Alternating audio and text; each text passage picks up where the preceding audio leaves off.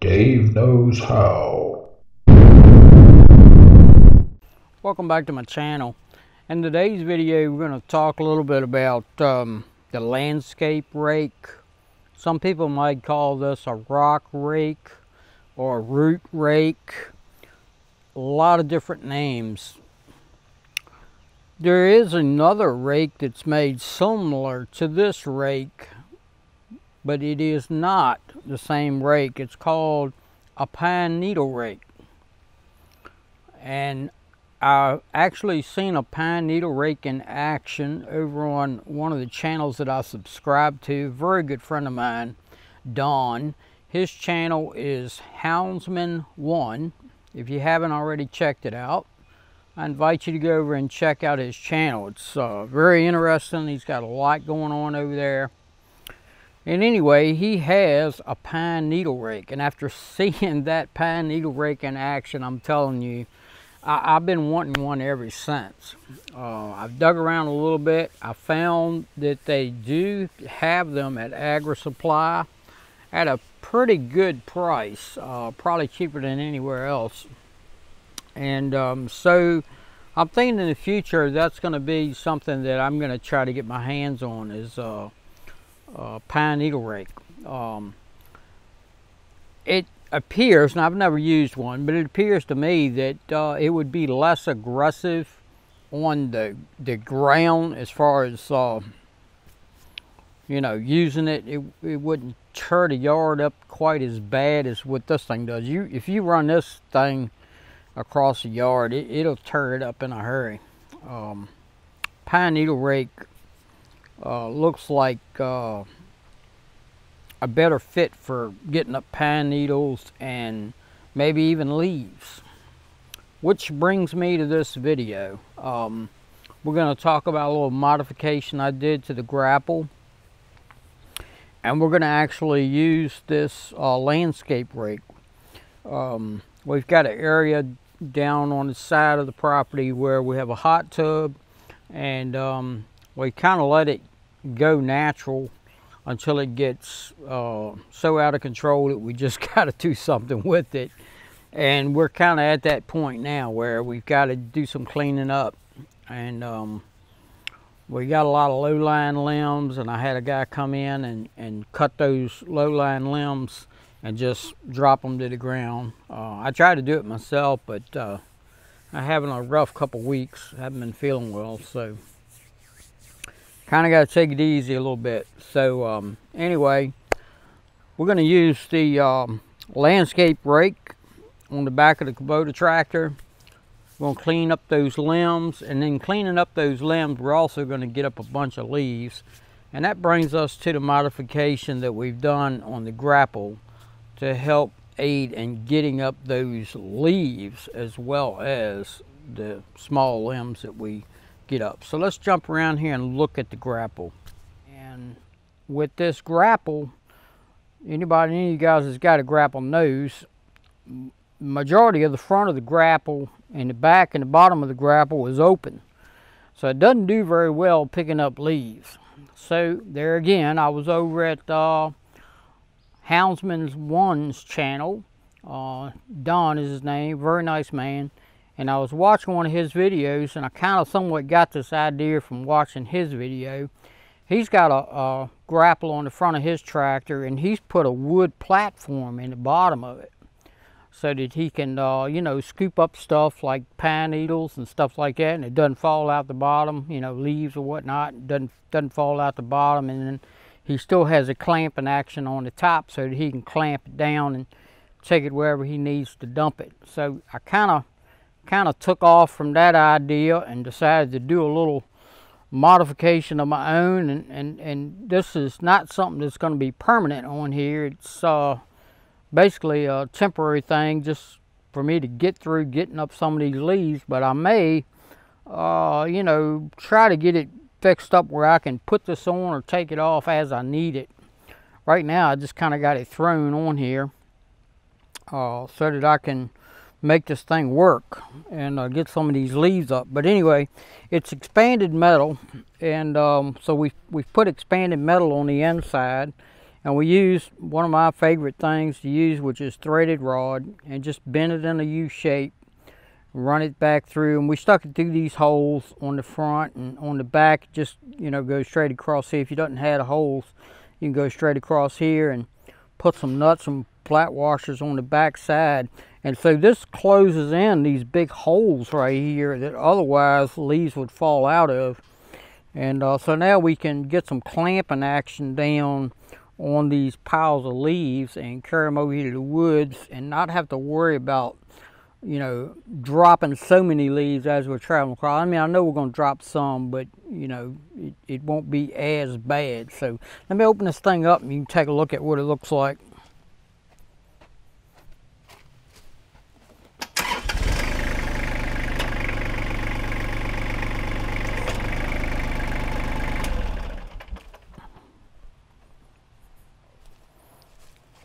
So here it is open and um, as you can see we got expanded metal up in the top of this thing. We got expanded metal down the back side and it's just bolted in four places with U-bolts right here, here, here, here.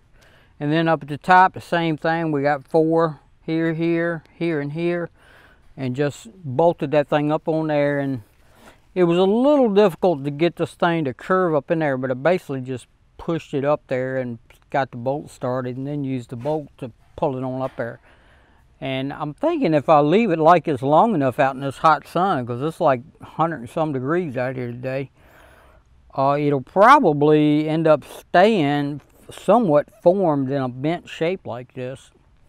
Um, I could probably put the torch to it and heat heat the expanded metal up and and uh, till it's you know, pretty good and hot, and, it, and then it would probably maintain this shape. But uh, I know it's not going to be super durable, where it's not going to be beyond bending. If I clamp down on it hard, a stick could probably, you know, bend this thing in or push it around or, or tear it or rip it or whatever, because the clamping force on these grapples is pretty significant. But um, for what I want to do with it uh, as far as for picking up these leaves and moving around is I think this is a good option. It might be something that uh, a lot of you guys might want to try to do with uh, whatever style grapple that you have on the front of your tractor. So let's walk over here to where the hot tub is and we'll look at the mess that we've got to clean up over there. That's what we're going to do. We're going to we're going to use the landscape rake on the back of the tractor. We're going to rake up all these limbs, leaves, and everything. And then we're going to use the grapple with the uh, expanded metal on there to just pick up everything, leaves and all, haul it back there to the woods and dump it in a pile so it can decompose and uh, at some point uh, it'll be dirt and we'll use it to uh, spread back over any low areas that we have. Uh, so anyway, let's uh, let's get uh, get the tractor fired up and start raking some of this stuff out of here and getting it up in a pile so we can uh, test out the expanded metal and see how well it's going to work.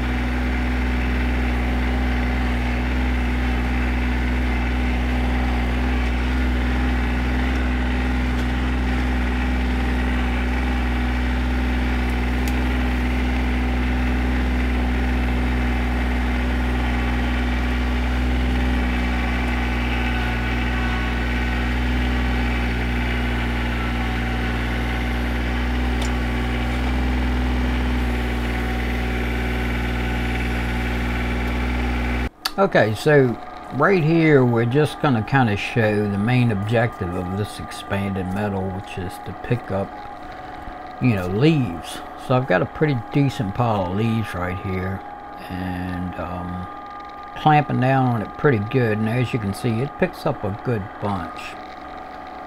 And uh, it does, you know, it does a pretty good job of, uh, you know, holding those leaves in place and not dropping them all over the place. Uh, it does drop some. It's not perfect. Um, these leaves are pretty dry and typically uh, dry leaves like that I would generally vacuum up into my uh, leaf vacuum machine and uh, you can check that video out it's uh, it's on my channel. Uh, I've had the leaf vacuum machine for a long time. Anyway uh, this is something that I would probably use more with really super wet leaves that the leaf vacuum uh, somewhat struggles with. It does pretty decent job with wet leaves, but uh, sometimes it will struggle with really super wet leaves, like what comes out of a ditch that goes around the house. Um, it leaf vacuum kind of struggles with them, and when you got a lot of sticks in there, uh, you don't want them sucked sucked up in the vacuum. So this will do good. The other thing I wanted to point out uh, is how well this thing seems to uh, the grapple you can close it and you can tilt the bucket back you know tilt the grapple back uh, uh, do all types of functions all the functions really with the front end loader while you're operating that third function valve. And I'm attributing that to that locking valve. Um, I guess it's partially uh, the method of operating this thing that I use as well as the locking valve uh, all in conjunction together because the front end loader control it, it's plumbed in before the third function valve and so I'm feathering that um, front end loader control, which is you know leaving some fluid available to go out to that third function valve. And since we've got back pressure from that locking valve, it definitely helps. So right there I was just kind of pushing it up and now I'm tilting forward and raking it back to get it up into a nice pile and you can see that I'm curling the bucket and rotating and got a nice big heaping pile and you know everything just works really smooth uh, it, it's not it's not jumpy it's not uh, you know in my my previous video where I was showing the thing actually working at some points it looked kind of jumpy. And uh, it does get jumpy from time to time but it's it's all about how um, how you feather that uh, front end loader control uh, because that is you know the governing factor uh, how much you feather that thing so it's definitely uh, a game of finesse uh, it's kind of a learned technique, I guess you'd say, that you'll have to develop. But I do believe that that locking valve is, uh, that double piloted locking valve is aiding in that thing being able to uh, function like that. I like being able to use the grapple to rake back. And there was a good shot of how that thing closes and and rolls back. Anyway, I just kind of wanted to uh, get a video out as quick as I could and show uh, this modification with the expanded metal, how, you know, how well it did work uh, to, you know, help me to get some of these leaves up. And you know a, a lot of these leaves had a lot was this pile that we're getting up right now is pretty much leaves. It's got some sticks but nowhere near as much as the previous pile uh, that I was picking up. It had a lot of sticks and I didn't film all of it because uh, it would have made the video a little bit too long. But I basically I just wanted to give you an idea of you know how well this thing is working with that uh, locking valve plumbed into the system.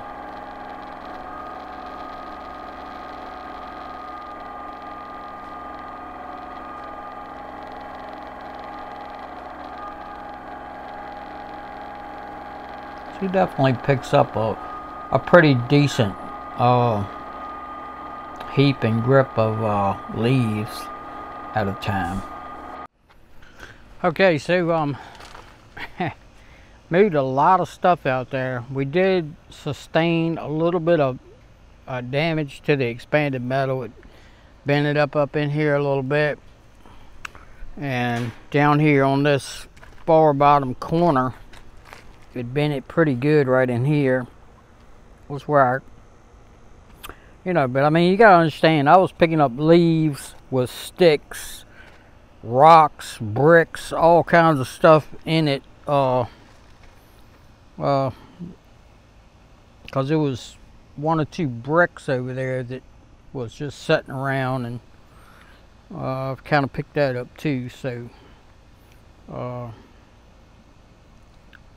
I would have thought it would have been a lot more damage to the expanded metal than what it is. I mean, as it is, it's still it's still good enough to continue to use uh, and go ahead and get some more get some more up. I, although I've just about got it all up now, uh, and it, it was right much to move. I didn't videotape all of it because it would have video would have went on too long video's already gone on too long so anyway going to close the video out now um, like I was saying earlier uh, Houndsman One Don over there on his channel he's he's got a really interesting channel uh, he's doing some work on the back side of his property getting ready to put in some food plots and whatnot and uh, you might want to go over and check out his channel subscribe and uh, hang out with him for a little bit. If you enjoy